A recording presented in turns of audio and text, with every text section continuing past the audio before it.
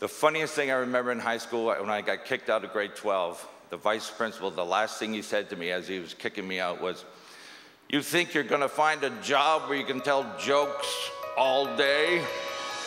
Quick, get the cameras. Come on, get the cameras. He's coming.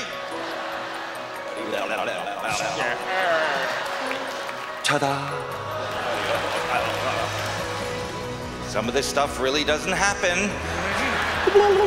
That's why they call it comedy.